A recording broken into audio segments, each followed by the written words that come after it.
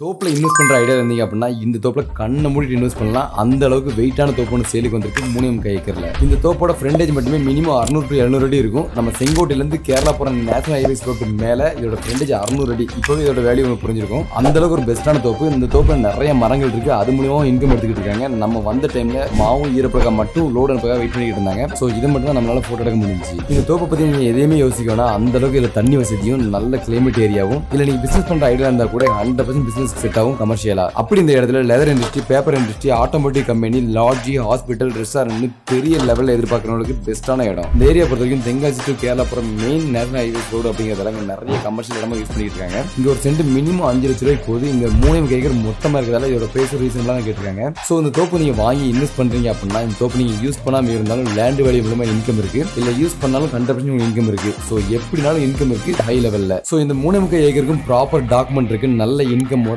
நல்ல லேண்ட் வேல்யூவோட இந்த இடம் வந்திருக்கு. இந்த இடத்த பத்தின ஃபுல் டீடைல் தெரிஞ்சுக்கணும் அப்படின்னா டீம் கமெண்ட் பண்ணுங்க. டீட்டெயிலாக மெசேஜ் பண்ணுறேன் இந்த இடத்த பத்தின வேற என்ன டவுட் இருந்தாலும் தாராளமாக நீங்க என்கொயரி பண்ணலாம். ஸோ பெரிய லெவலில் இன்வெஸ்ட் பண்ணணும்னு நினைக்கிறவங்க இதை ட்ரை பண்ணலாம்.